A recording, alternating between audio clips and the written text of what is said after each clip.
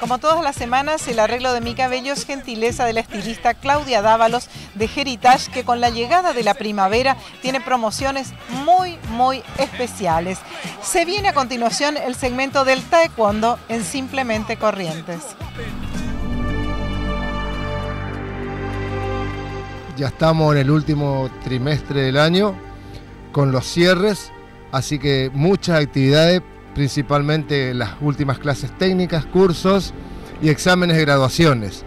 El fin de semana pasado, 12, 13 y 14 de septiembre, examen en regatas el viernes, el sábado estuve en Brucuyá dictando una clase técnica y tomando exámenes de graduaciones, el domingo 14 en esquina haciendo lo mismo, y bueno, y ahora enfocándonos en dos eventos muy importantes. Perdón, lo que hicieron el fin de semana eh, siempre suma, siempre aporta para alumnos y profes.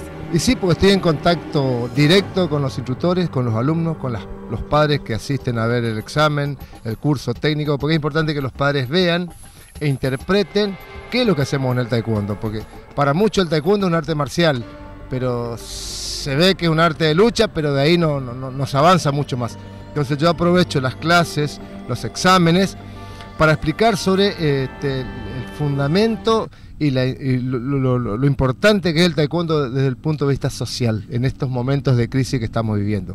Así que se vuelve una jornada social muy linda. ¿Qué se viene? Bueno, el 3 de octubre nuestra fiesta eh, aniversario. Cumplimos 17 años. No sabemos qué vamos a hacer todavía porque como es viernes, y el domingo tenemos que ir a Cruzú muy temprano porque hacemos nuestro noveno torneo regional. Este, así que me parece que de los gimnasios vamos a ir a compartir algunas pizzas para festejar nuestro aniversario, porque el sábado tenemos que estar preparando todo para viajar el domingo a Cruzú.